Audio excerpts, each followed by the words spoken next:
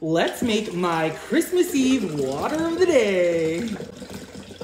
It's Christmas Eve. What flavor am I choosing? I'm gonna do a green apple Jolly Rancher and a kiwi lime Skittles packet.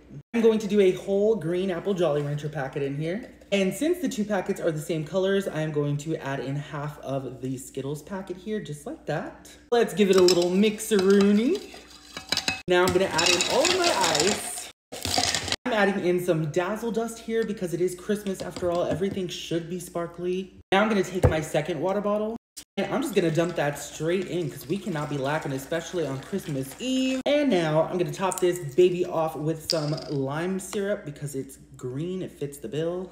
There we have an all green Christmas sparkly water. Is it not beautiful? Shining, shimmering, splendid. Gorgeous.